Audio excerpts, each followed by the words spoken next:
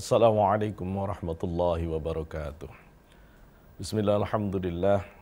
Alhamdulillahi haqqa hamdih nahmadu syukran jami'i ni'amihi wa mazidih. Wa usalli wa usallimu ala nabiyil karim habibina wa syafi'ina wa qurrati ayunina Muhammad ala alihi wa ashabih. Amma ba'du. Para pemirsa Nabawi TV rahimakumullah.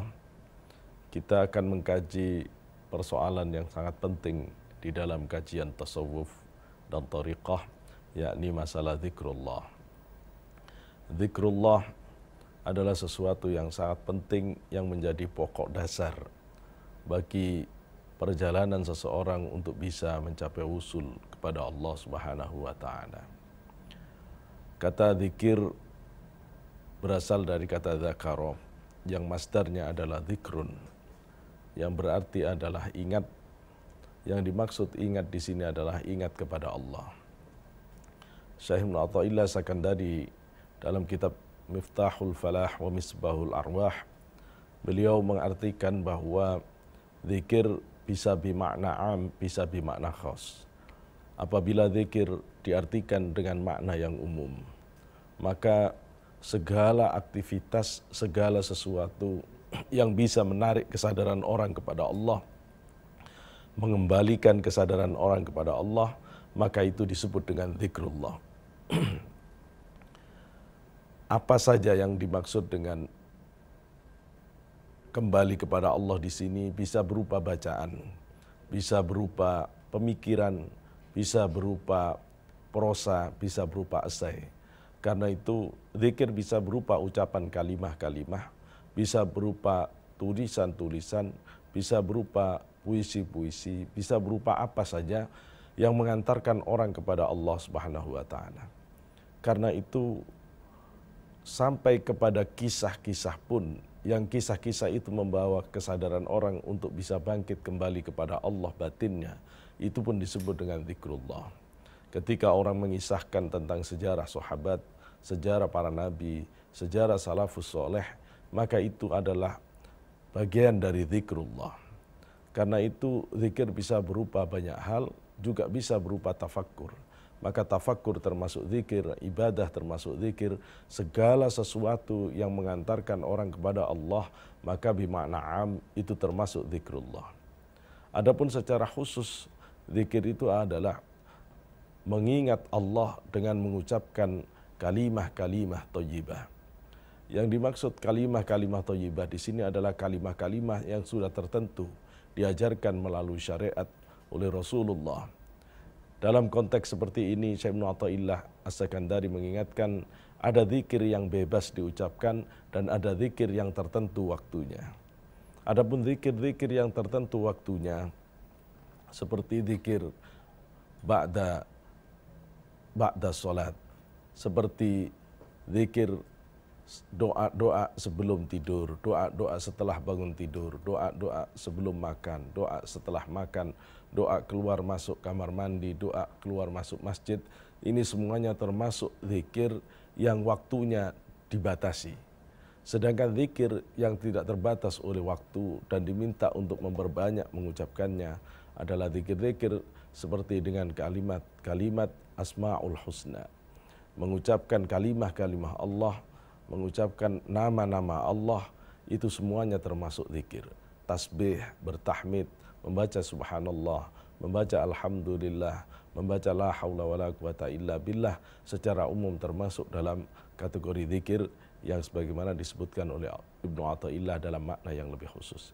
Adapun zikir dalam makna yang lebih khusus atau zikir yang biasa digunakan oleh para ulama ahli tariqah maka itu adalah zikir dengan lafzul jalalah. Zikir dengan kalimah la ilaha illallah Muhammad la ilaha illallah dan kalimah Allah Allah Allah. Dua kalimah inilah yang biasa digunakan oleh para ulama ahli tasawuf atau tariqah di dalam memaknai zikir itu sendiri.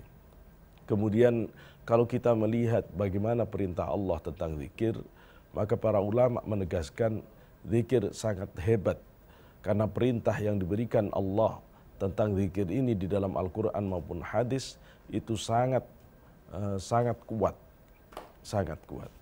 Zikir misalnya di dalam uh, salah satu ayat Al-Quran Allah menegaskan A'udzubillahi minasyaitonirrajim Ya ayyuhalladzina amanu dhkurullaha dzikran katsira. Wahai orang-orang yang beriman, zikirlah kamu kepada Allah dengan zikir yang sebanyak-banyaknya. Allah meminta di sini supaya kita zikir yang sebanyak-banyaknya. Di dalam ayat yang lain, ketika orang tidak bisa sholat dengan khusyuk, maka Allah mengingatkan agar dia melakukan zikir yang sebanyak-banyaknya. Supaya dia bisa kemudian memaknai solat itu dengan kehusyuannya. Di dalam ayat Al-Quran itu Allah mengingatkan minasyaitonirrajim fa idza dzikran katsira fa idza fa idza qadaytumus salata fadhkurullaha qiyaman wa qu'udan wa 'ala junubikum fa idza tma'nantum fa aqimus salah ketika kamu telah selesai menjalankan solat sebagaimana biasa maka ingatlah Allah berzikir kepada Allah. Dalam keadaan kiaman, dalam keadaan berdiri, dalam keadaan dan dalam keadaan duduk. Wa ala junubihim dalam keadaan berbaring. Kita diminta untuk zikir. Fa'idat maknantum. Apabila kita sudah terasa tentram, maka pada saat itu kita disuruh oleh Allah untuk iqamatus sholah. Maka iqamatus sholah tidak akan bisa didirikan kecuali ketika orang itu merasa tentram. Batinnya dengan Allah dan ketentraman batin tidak akan tercapai kecuali orang itu ahli zikir. Karena Allah mengingatkan ala bidzikrillahi tatmainnul qulub. Bukankah dengan zikir kepada Allah itu hati kita akan menjadi tentram. Zikir kepada Allah yang akan menetapkan batin kita di sisi Allah Subhanahu wa taala. Karena itu kita melihat perintah zikir di dalam hadis pun sebagaimana hadis diriwayatkan oleh Imam Ahmad yang juga diriwayatkan oleh Imam Suyuti dalam kitab Jami'us Saghir. Rasulullah memerintah kita untuk memperbanyak zikir ini. Aksiru zikrallah hatta yakulunal majnun. Demikian Rasulullah mengingatkan kita semuanya. Yang banyak kamu zikir kepada Allah sampai orang-orang menyebut kamu sebagai orang yang gila. Bahkan Rasulullah mengingatkan seandainya orang-orang menyebut kamu itu gila karena banyaknya kamu melafatkan kalimah-kalimah Allah, karena banyaknya kamu mengucapkan kalimah-kalimah la ilaha illallah, maka itu termasuk hal yang positif untuk kita. Kita bahkan disuruh mengabaikan melalui hadis ini. Meskipun orang lain menyebutmu sebagai orang yang gila, tapi perbanyaklah zikir itu. Karena zikir itu akan bermanfaat untuk dirimu sendiri. Karena itu sudah sebaiknya lah kita berusaha untuk senantiasa memperbanyak zikir kita berdasarkan apa yang diperintah Allah dan Rasulnya. Kita akan lanjutkan setelah yang berikut ini.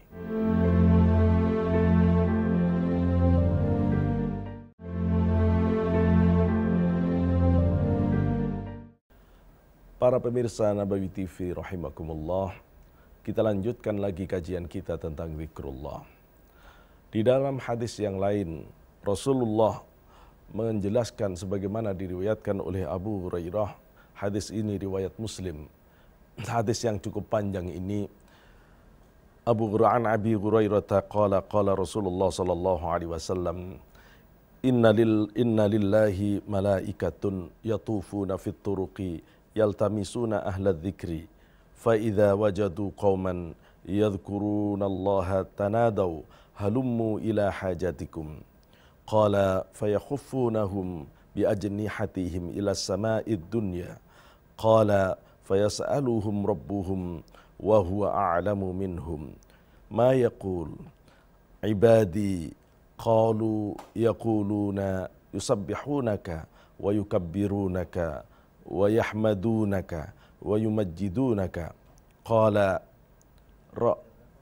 قال هل رأوني؟ قال فيقولون لا.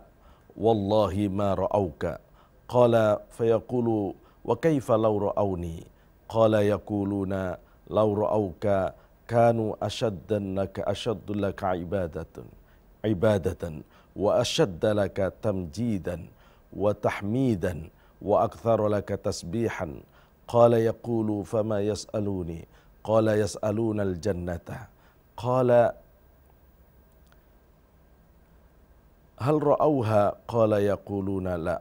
والله يا رب ما رأوها. قال يقول فكيف لو أنهم رأوها؟ قال يقولون لو أنهم رأوها كانوا أشد عليها حرصا وأشد لها طلبا وأعظم فيها رغبة. قال فمما يتعوذون؟ قال يقولون من النار. قال يقول وهل رأوها؟ قال يقولون لا. والله يا رب ما رأوها. قال يقول فكيف لو رأوها؟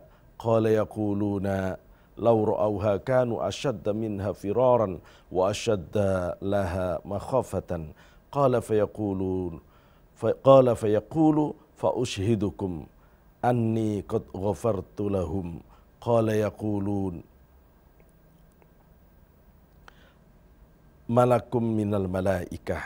فيهم فلان ليس منهم إنما جاء لحاجة. قال هم الجلساء لا يسقى بهم jalisuhum rawahul Bukhari. Di dalam hadis yang sangat panjang ini dikisahkan bahwa Allah memiliki malaikat yang malaikat itu senantiasa berbaris di ganggang untuk menemui orang-orang yang berzikir. Apabila malaikat itu menemukan sekelompok orang yang sedang berzikir, maka malaikat itu bergabung dengan jamaah zikir itu dan kemudian malaikat itu membentangkan sayapnya menyampaikan hajatnya ketika malaikat itu ditanya oleh Allah wahai malaikat sedang apa mereka ini? Sedang apa orang-orang yang sedang berkumpul ini? Meskipun Allah lebih mengetahui apa yang dilakukan oleh kita oleh orang-orang yang sedang berzikir. Malaikat itu menyatakan yusabbihunaka wa yukabbirunaka wa yahmadunaka wa yumajjidunaka mereka sedang bertasbih kepadamu, mensucikan engkau ya Allah. Mereka sedang mengagungkan namamu ya Allah, membesarkan namamu. Mereka sedang memuji-memuji engkau. Mereka sedang mengagungkan-agungkan engkau. Maka melihat malaikat melaporkan ini kemudian Allah menanyakan kepada para malaikat itu. Wahai para malaikat, adakah mereka melihat aku? Para malaikat itu kemudian mengatakan demi Allah, tidak ada mereka yang telah melihat engkau ya Allah. Kemudian Allah mengatakan kepada malaikat, bagaimana seandainya mereka melihat aku? Maka malaikat itu mengatakan, pasti mereka akan lebih hebat ibadahnya. Pasti mereka akan lebih hebat memuji engkau. Pasti mereka akan lebih hebat di dalam bertasbih kepada engkau. Dan akan lebih banyak dia akan mengucapkan tasbih-tasbihnya, tahmidnya. Kemudian Allah menanyakan lagi kepada para malaikat, apa yang mereka cari sebenarnya para malaikat. Maka malaikat menjawab kepada Allah, mereka semuanya merindukan surga. Allah kemudian menanyakan kepada para malaikat, adakah mereka telah mengetahui surga itu? Para malaikat menjawab kepada Allah, demi Allah, tidak ada di antara mereka yang telah mengetahui surga. Allah kemudian pertanyakan pada malaikat, bagaimana seandainya mereka telah mengerti surga, aku bukakan sehingga dia melihat surga. Maka kemudian para malaikat mengatakan, sungguh mereka akan tambah hebat di dalam beribadah guna mendapatkan surga itu ya Allah. Kemudian Allah menanyakan lagi kepada para malaikat, apakah yang mereka takutkan? Kemudian para malaikat menjawab, mereka takut semuanya kepada neraka ya Allah. Allah kemudian bertanya kepada para malaikat, adakah mereka telah mengetahui neraka itu? Maka para malaikat mengatakan, demi Allah tidak ada di antara mereka yang telah mengetahui neraka itu. Allah kemudian bertanya kepada malaikat, bagaimana seandainya mereka telah mengetahui neraka itu? Maka para malaikat mengatakan, seandainya mereka tahu neraka itu, maka akan sangat hebat dia beribadah guna menghindarkan dirinya dari siksa api neraka itu. Kemudian dari pernyataan ini Allah menegaskan kepada para malaikat fayaqul fa ushidukum anni qad ghafartu lahum. Maka Allah mengatakan kepada para malaikat saksikanlah oleh kalian sesungguhnya aku telah mengampuni dosa-dosa orang yang sedang berzikir itu. Pada saat itu kemudian ada satu malaikat dari malaikat-malaikat yang hadir di dalam majelis zikir itu mengatakan kepada Allah, "Ya Allah, adakah semua orang yang hadir di majelis ini Engkau ampuni?" Sedangkan ada di antara mereka yang datang tidak berniat untuk berzikir, tetapi dia niat karena hajatnya. Mungkin dia datang ke majelis zikir itu tidak saja untuk berzikir, tapi karena untuk berdagang. Mungkin dia datang ke majelis zikir itu tidak berniat untuk zikir, tapi karena ikut temannya. Bagaimana orang yang sepacam ini? Apakah dia juga mendapatkan maghfirah, ampunan dari Allah? Allah menegaskan mereka telah hadir di dalam jamuan yang tidak mungkin Allah memberikan minum pada seseorang sementara yang lain dibiarkan kehausan. Ini artinya bahwa orang yang hadir di majelis zikir apa pun keadaannya maka dia juga mendapatkan ampunan dari Allah karena bagusnya karena hebatnya majelis zikir itu sendiri. Di dalam hadis yang lain keutamaan majelis zikir ini Rasulullah ingatkan kepada para sahabat Idza marartum bi riyadil jannah farta'u ay tamatta'u.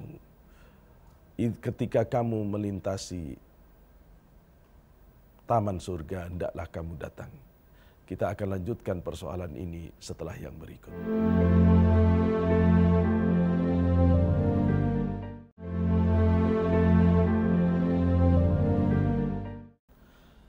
Para pemirsa Nabawi TV yang berbahagia, kita tadi telah menyebutkan hadis Rasul yang menegaskan bahwa ketika kamu melintasi majelis zikir, ketika kamu melintasi sekelompok, ketika kamu melintasi taman surga kata Rasulullah, hendaklah kamu mendatanginya. Idza marartum biriyadil jannah farta'u. Ketika kamu melintasi taman-taman surga, hendaklah kamu ikut menikmati di dalamnya. Apa yang dimaksud dengan fartau? Para ulama mengatakan aitamat tahu. Maksudnya ikutlah kamu menikmati. Sahabat bertanya kepada Rasulullah, ya, Wa mariyadul jannah. Apa yang dimaksud dengan taman surga itu Rasul? Rasulullah menjawab, hilakul dzikr. Sekelompok orang, lingkaran orang yang sedang berzikir. Maka di sini kita melihat bahwa raudhah itu bisa bermakna dua. Yang pertama adalah raudhah fisik, yang itu adalah ma baina baiti wa mimbari raudhah min riyadil jannah. Kata Rasulullah bahwa di antara rumah dan mimbar Rasul itu adalah raudhah, taman dari taman surga yang selamanya dia akan menjadi raudhah. Sedangkan ada raudhah yang bersifat haliyah, bersifat keadaan, yakni majelis-majelis zikir, termasuk di dalamnya majelis-majelis ta'lim majelis-majelis solawat. Disebut raudhah oleh Rasulullah sendiri. Di mana Rasul tadi menegaskan apabila kamu temui sekelompok orang yang sedang berzikir, maka itulah raudhah itu. Kadang-kadang kita ini mengumpulkan uang untuk pergi ke raudhah, untuk pergi ke Madinah adalah sangat bagus. Tetapi ingatlah, sesungguhnya majelis zikir pun itu raudhah. Majelis solawat pun itu raudhah majelis taklim pun itu raudhah. Maka ketika orang hanya semangat untuk pergi ke Madinah, sementara dia tidak mau mendatangi majelis-majelis taklim, tidak mau aktif di dalam majelis-majelis solawat, tidak mau aktif di dalam majelis-majelis zikir, maka menjadi aneh. Apakah sebenarnya dia benar-benar merindukan raudhah, merindukan Allah dan Rasulnya, atau mereka sekedar senang pelesirannya, senang jalan-jalannya. Kalau benar dia benar-benar pecinta Allah dan Rasulnya, pastilah dia merindukan majelis zikir, majelis taklim, majelis solawat.